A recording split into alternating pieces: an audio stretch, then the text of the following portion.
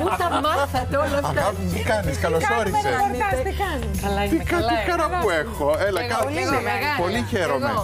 Μπρε- με- Και τι ωραία που τα είπατε έτσι με πολύ suspense. Μα Εννοείται. ισχύουν αυτά τα πράγματα με τη γατούλα, την καινούρια. Εντάξει, κοίτα.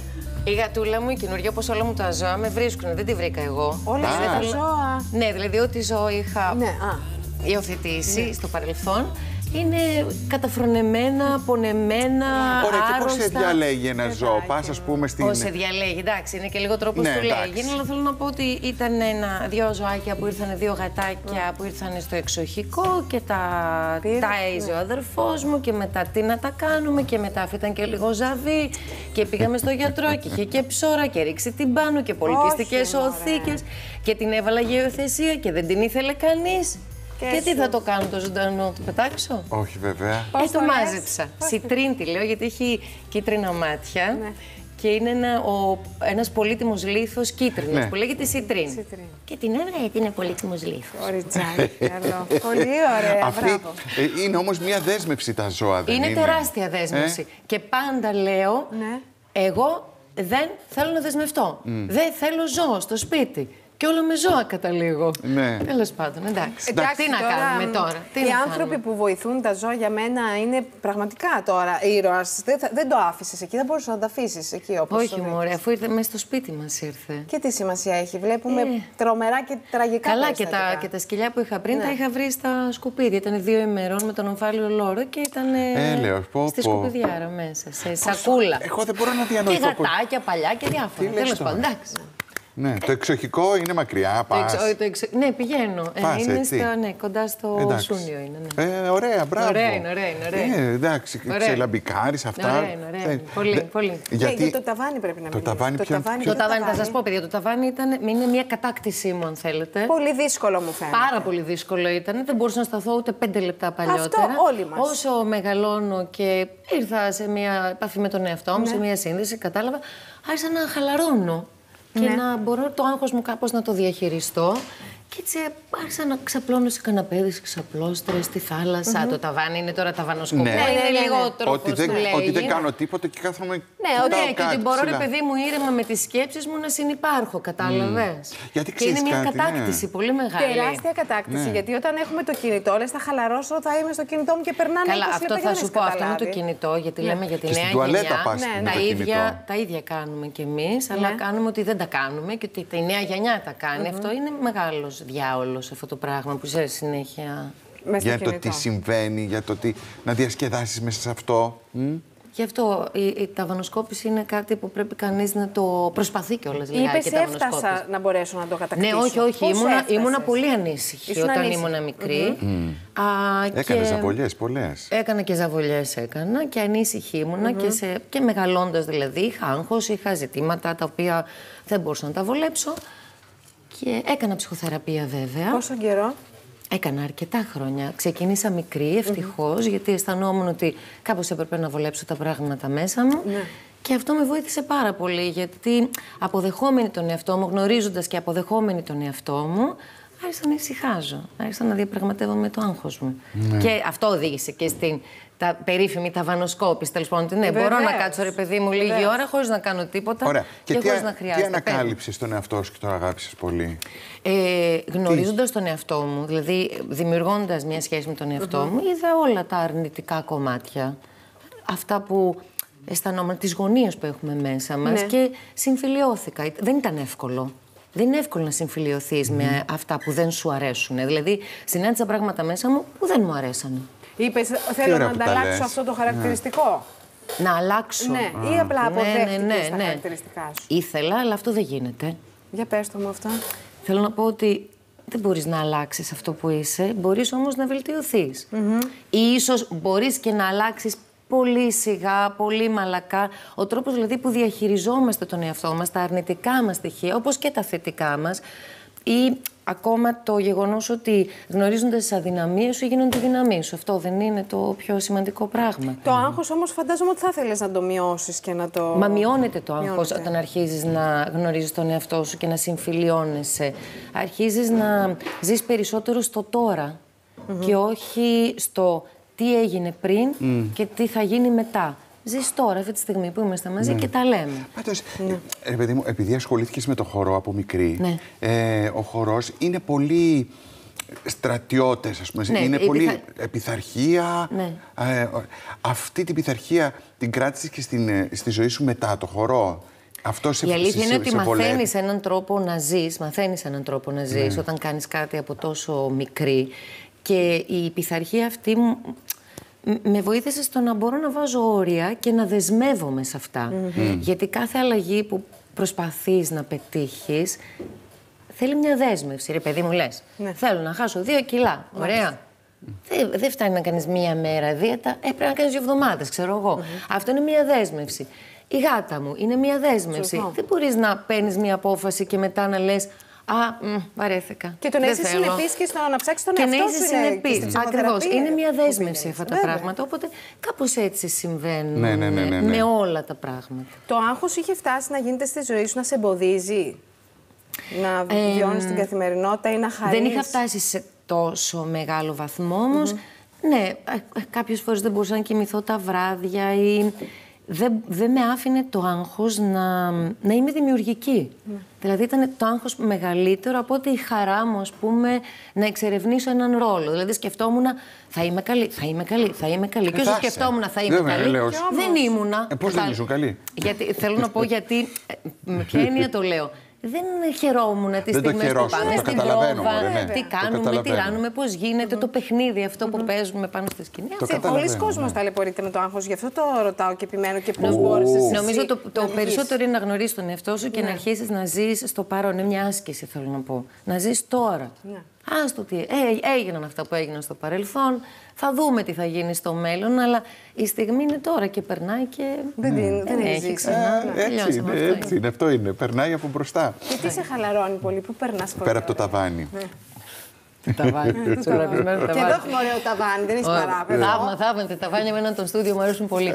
λοιπόν, ε, μου αρέσει πολύ να βλέπω ντοκιμαντέρ. Α, Με ζωάκια και τέτοια είδα. Όχι, όχι, διάφορα. Ναι.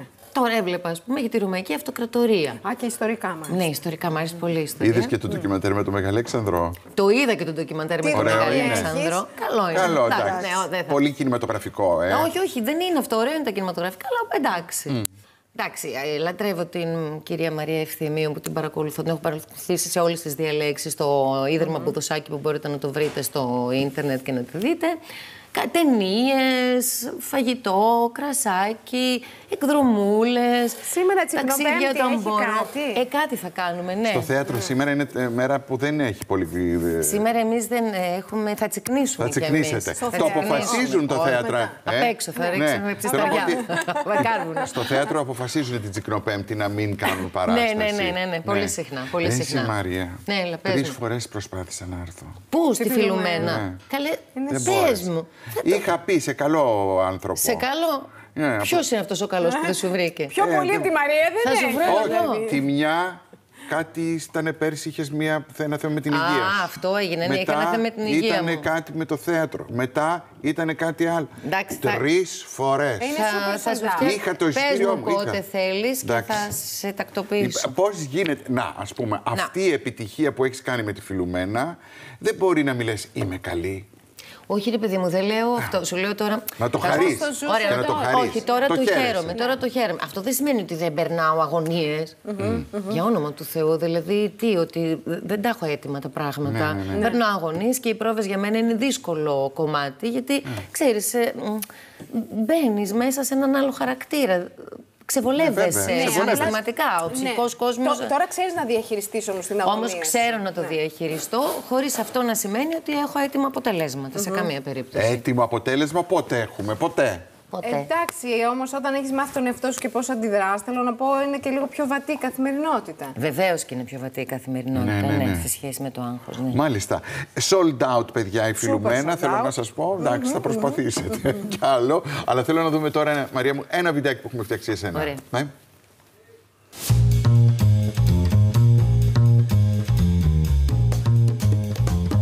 Ο Ο μπαμπάς μου μου άνοιξε την πόρτα της ελευθερίας και η μαμά μου την πόρτα της φαντασίας, είπε η Μαρία Ναυπλιώτου. Και εκείνη, το δημιουργήμά τους, μοιάζει να ήξερε ακριβώς τι ήθελε σε κάθε στιγμή της ζωής της. Και σήμερα ανήκει σε εκείνη την φωτεινή εξαίρεση των ανθρώπων που επιμένουν να κάνουν σωστά τη δουλειά τους, που κατάφερε αθελά της να ταυτίζουμε το όνομά της με τη φινέτσα, το ταλέντο, την ποιότητα. Η Μαρία γεννήθηκε στο Μακρυγιάννη κάτω από την Ακρόπολη και μεγάλωσε στο παλαιό Φάληρο. Τα παιδικά της χρόνια μύριζαν ζάχαρη και κρέμες από το φούρνο του ζαχαροπλάστη παμπά τη.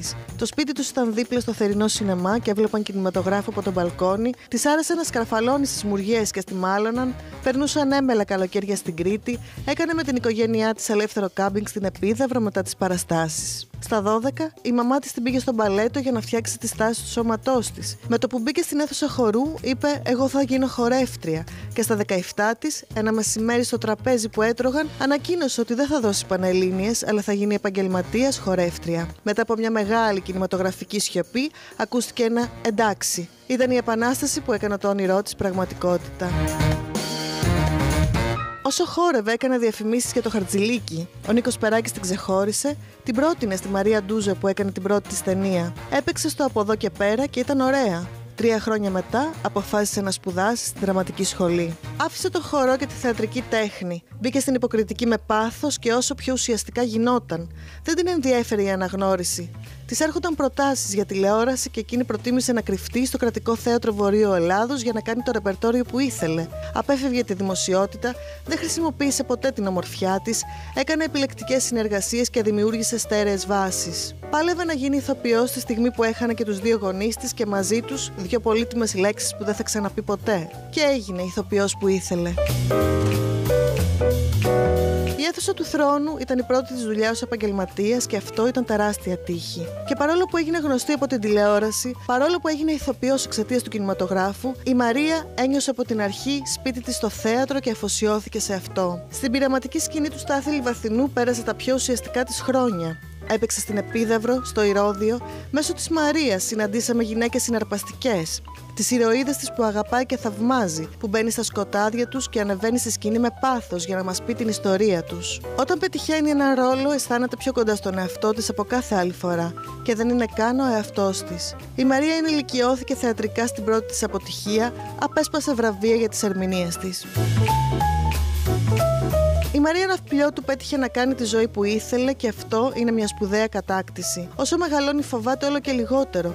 Είναι πιο ήρεμη, έχει όρια που την προστατεύουν. Για εκείνη η υγεία είναι συνώνυμο της ευτυχίας. Δεν της αρέσει να είναι μόνη της, χρειάζεται τους φίλους της, αγαπάει τον αδερφό της και πάντα ζητάει να της στέλνει ένα έφτασο όταν ταξιδεύει για να μην ανησυχεί. Χαλαρώνει στη θάλασσα, είναι αυστηρή και απόλυτη σε πολλά πράγματα, αλλά όχι συντηρητική. Ό,τι λέει το κάνει, πάντα φοβάται μην κάνει λάθη και η τελειομανία της τη βασανίζει. Λέει συχνά τη φράση Θα τα καταφέρουμε. Ακόμα δεν νιώθει τρομερά διάσημη. Στη διαδρομή της στην τέχνη, στο χώρο και στο θέατρο, πάντα αναζητούσε αυτό το οποίο δεν θα ήταν το πρώτο πράγμα που θα έβλεπε κάποιος σε εκείνη. Εξακολουθεί να προκαλεί τα δύσκολα και να ονειρεύεται να γεράσει μέσα στο θέατρο. Τι ωραία. Πολύ ωραίο, σας ευχαριστώ Χαίρομαι. πολύ. Και Ε. κάπως πιάσαμε τη συζήτηση για τον μπαμπά σου που Ναι. ήταν σεφ σε ένα ζαχαροπλαστήριο. Ναι, ναι Πολύ δεν είχαμε γνωστό. φούρνο, είχαμε, είχε- ήταν σεφ σε ένα ζαχαροπλαστείο της εποχής πολύ γνωστό, το Ντελισιέ. Το Ντελισιέ. Πάρα πολύ γνωστό. Πάρα Αφού πολύ τώρα γνωστό λέγαμε και και για πάρα τη πολύ σοκολατίνα. ωραίο. Και ναι, Την καρέτη, την καρέτη σοκολατίνα. σοκολατίνα. Α, Ναι, έχουν μεγαλώσει όλοι με αυτή την καρέτη, την έχουν φάει στα γενέθλιά τους, την παίρνανε. Ναι, είναι, Ναι. ήταν η πιο γνωστή. Σπίτι σας τι γινόταν με τα γλυκά; Χαμός. Χαμός, ε. Χαμός. Τσουρέκια, μπισκότα, τούρτες. Μας έφερνε και τις τούρτες που δοκιμάζαν τις καινούργιες γεύσεις. Ναι, δεν Τι ξέρω ωραίο πώς να δεν έχεις μπαμπά γίνανε- ζαχαροπλάστη. Ναι, ήταν πολύ ωραίο, ήταν πάρα πολύ Ναι. ωραίο. Όντως το σπίτι, δηλαδή και εκείνος μύριζε βούτυρο και ζάχαρη. Αλήθεια. ναι. Δεν μου λες, ε, πολλές φορές θα έχεις ακούσει ζαχαροπλάστης ο πατέρας σου. Ε, μου έχουν κάνει, Βλάκα. ήμουνα 13 ετών, πήγαινα στη σχολή χορού να κάνω μάθημα και τότε, ξέρεις, περνάγανε τα μηχανάκια, τα παπάκια και μας κάνανε καμάκι. Και μου λέει ένας τύπος ζαχαροπλάστης είναι ο μπαμπάς σου. Και λέω κι εγώ, ναι, ότι έκπληξη. Πώς το Πού ξέρεις, βρε αδερφέ μου. Σε ποια σχολή χορού ήσουν, Ε, ερασιτεχνικό πήγα στη σχολή της Ροδόπης Κούβαρης στο Παλαιό Φάληρο και μετά τελείωσα την σχολή της Ραλουμάνου, επαγγελματικά. Μάλιστα, Και πώς επαγγελματικά. έγινε η μετάβαση στο θέατρο; Ε, Μέσα οι σου; Ναι. χορευτέ έχουν μια ε, δύσκολη, αν θέλεις, οικονομική. ένα δύσκολο βιοπορισμό. Βεβαίως. Οπότε έκανα και διαφημίσεις για τα προστοζήν.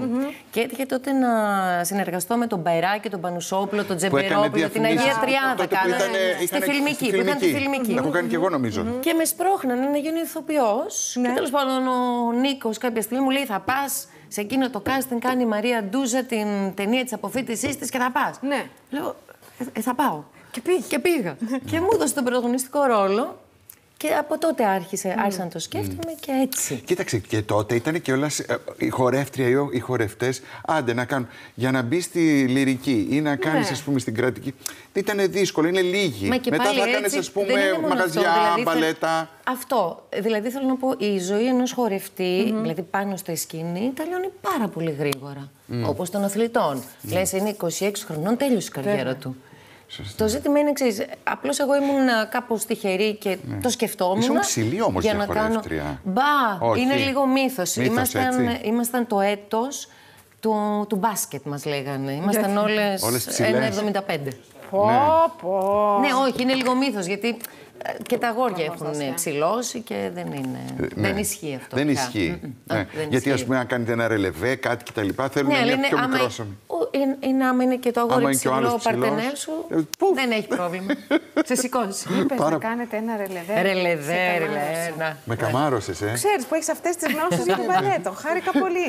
Ένα Παιδιά, ναι, μου ρελεβέ, άρεσε. δύο πλιέ, ένα κόμμα. Ε, Μου άρεσε πολύ το μπαλέτο. Α Ναι. πούμε, αγόρια μπαλέτο. κα- Είχατε συμμαθητές αρκετούς Είχαμε, που να αλλά όχι. μπορείτε Εντάξει, να. όπως καταλαβαίνεις, πάντα στις τέχνες Ναι. τα κορίτσια υπερτερούν. Όπως και στο θέατρο, Και στο όπω και θέατρο. στο χορό.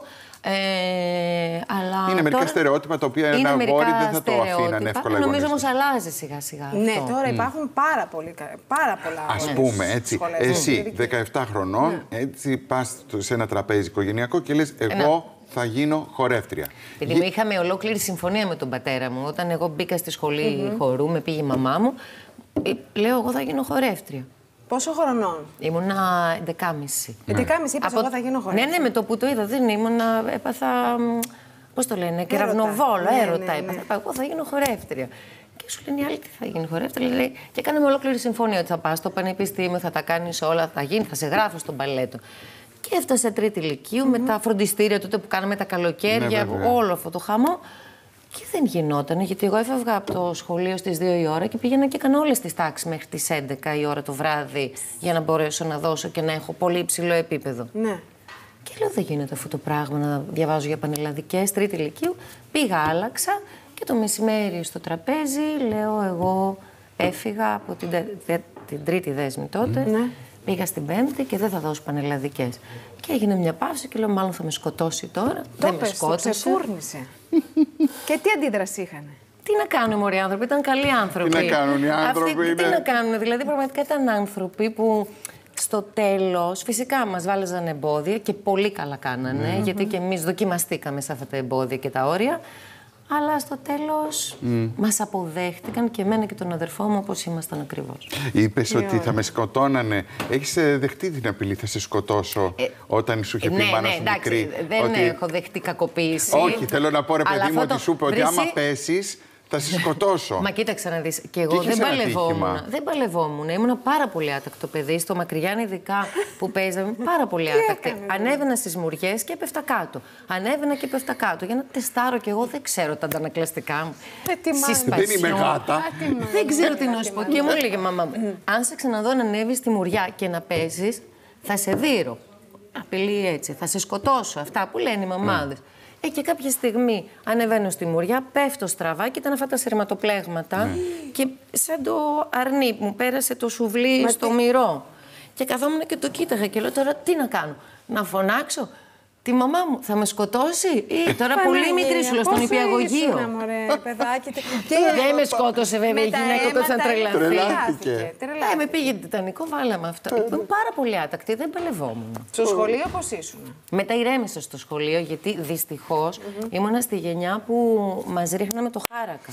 Τι λες; Αχ, ναι. Πολλοί Και μας εγώ το- δέρνανε με το και χάρακα. εγώ Μας το έκαναν θυμάμαι. έτσι και μας κάνανε έτσι. Οπότε είπα, Α, εδώ δεν εδώ δέρνουνε. συμφέρει. Δεν συμφέρει. Οπότε... Δεν είναι σαν το σπίτι μου που κάνω τι θέλω. Κατάλαβες. Έκαβαλα βιτρίνα θα με ήσυχη. σκοτώσουνε. Εδώ θα με σκοτώσουν πραγματικά. και έβαλα τη βιτρίνα της ήσυχης μπροστά. Είναι πολύ, πολύ βάναυσο για ένα παιδί να πει. Πάρα, Πάρα πολύ να ζει βάναυσο. α- αυτή την Άρα, αυτό, καθημερινότητα αυτό, στο αυτό, σχολείο. αυτό. Κάναμε έτσι τα χεράκια και μας κάνανε έτσι με το Με τι χάρακα. καρδιά το κάνανε. Οι άνθρωποι αυτοί. Θέλω να πω ότι, οκ, ήταν μια συνήθεια. Δεν ξέρω, με τι ρε, παιδί καρδιά μου, το κάνανε. Εγώ θυμάμαι. Ήταν, να νομίζω, πέφτει η- μέρος της- Η βέργα και να κλαίει το παιδάκι. Πώς το εντέχανε; Δεν Πιστεύανε κατάλαβα, ότι μπορώ να αυτός το ήταν- φαντα- δεν- παιδιά, δεν- κι εγώ να δεν το μπορώ, φανταστώ. δεν μπορώ. Αυτό που μου λέτε δεν μπορώ να το φανταστώ, το καταλαβαίνω. Δηλαδή δεν το χωράει ο νους μου. Εγώ έχω Ότι εικόνα εκπαιδεύτηκε Ήμασταν παιδιού. νομίζω η έκανε. τελευταία Να γενιά κλαίει. που το έζησε αυτό. Καλά, εγώ είμαι και εσύ. Εγώ είμαι πιο παλιός. Μην το λες αυτό, Φώτη. Μην το λες. Καλά, Το μην- λέω. Δεν μην θες τώρα, κοντράρεις δεν θες λίγο. τώρα όλα να βγουνε. Ε, Στην παραλία τι γίνεται τώρα, νομίζω. Μπαίνεις στην παραλία. Σε πόσα επεισόδια έρχεσαι, αν Λοιπόν, μπορούμε παιδιά, να κοιτάξτε να δείτε, έχω, έχω μπερδευτεί κι εγώ. Ναι. Μου είπανε θα μπω στο 106, αλλά μετά έγινε μια άλλη αρρύθμιση και μου είπε ο Στέφανος Μπλάτσος, ο σκηνοθέτης, ότι θα μπω στο 111. Και εγώ δεν ξέρω τώρα, έχω χαθεί. Άντε, στο σε παρακαλούμε, θα μπω στο μπες. 111, θα μπω. Τι κάνεις, τι κάνεις θα μια γίνει; κατατρεγμένη. Τι; Όχι, κατατρεγμένη κι εσύ. Κάνω μια χείρα, Ναι. η οποία ε, ζει απομονωμένη. Έξω Έξω δηλαδή. από Έξω, το έξω από το Μάταλα. χωριό, σαν Α, βουνά μάλιστα. μόνη της, Ναι, ναι. η οποία έχει για αξεσουάρ μια καραμπίνα. Αξεσουάρ καραμπίνα. Μάλιστα. Καλαμίτη Τζέιν, Και είμαι, κανονικά. και είμαι με αυτή παντού. Και κατεβαίνεις Και στα μην μάταλα. τολμήσει. Όχι. Όχι. Ε, τώρα και εσύ δεν Ε, πες πρέπει να- λίγο, ρε, παιδί Ε, μου. κάποιες δεν θα κατέβω λίγο στα μάταλα. Ναι, ναι. Λίγο, αλλά βασικά το. Προσπαθείς να ε, οχυρώσεις την μοναξιά σου, φαντάζομαι. Κοίταξε να δεις, την απειλούνε, πάνε, τις κλέβουν τα... Ε, το, από το μποστάνι, Μάλιστα. πάνε, τις κλέβουν τα ζώα Οι τους. τουρίστες, Οπότε, οι- οπότε- όχι. όχι, οι τουρίστες, εκεί, γύρω-γύρω. Ναι. Από την άλλη είναι και μια γυναίκα μόνη, πρέπει να προστατευτεί. Δεν ξέρεις τι απειλές μπορεί να έχει δεχτεί κατά καιρούς. Αλλά είναι, μου αρέσει πάρα πολύ που είναι αξεσουάρι καραμπίνα. Αλλά είναι συνέχεια έτσι όμως, Ανυπομονώ έτσι. πάρα πολύ. Ε, μ' αρέσει Συγγνώμη, πάρα πολύ έχεις αυτή. πιάσει όπλο ποτέ στη ζωή σου; Πρώτη φορά έπιασε Πρώτη τώρα φορά, στο... έτσι, την καραμπίνα. με την καραμπίνα. Είναι και βαριά. μου δείξανε. Πώς Είναι κάνει. πάρα Πολύ πολύ βαριά, βαριά. ναι. Πάρα πολύ βαριά. Έχω κάνει μπράτσα. Μπράβο. καραμπίνα Τώρα στο όμω θα σε